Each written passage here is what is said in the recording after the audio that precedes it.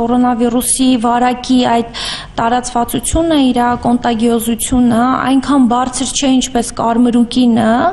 այն համարյա թե հավասար է գրիպի վիրուսի այդ մեր հայտնի վիրուսների ուրեմն կոնտագիոզությանը, վարակելիությանը, բայց ամեն դեպքում բոլոր այն մարդիկ, ովքեր որ շփված են եղել դրական դեպքի հետ, հայտնաբերելով այդ շրջանակը գծում ենք եւ մեկուսացնում ենք 14 օրվա հսկողություն սահմանալով դիտում ենք թե 14 օրվա ընթացքում արդյոք իրենց մոտ կզարգանա հիվանդություն թե չէ որևէ սիմպտոմների արկայության դեպքում օրինակ եթե ջերմում է կամ շնչառական շնչառության ուրեմն խանգարում դժվարեցում ունենում է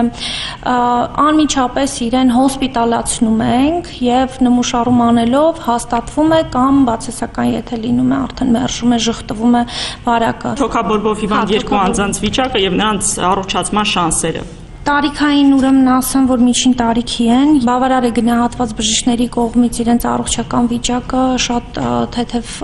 ուրեմն թեթև են տանում թոքաբորբը, ստանում են սիմպտոմատիկ բուժում եւ մենք վստահեցնում ենք, որ արդյունավետ է լինելու բուժումը։ Կապված տարածաշրջանների հետ ասեմ, որ աշխարհագրական տեղաբաշխումը դեպքերի, ինչպես նաեւ նրանց հետ կոնտակտ ունեցող անձանց ամեն օր փոփոխության է ենթարկվում։ Ես կասեմ, որ հիմնական մեր ուրեմն դեպքերը գրանցված են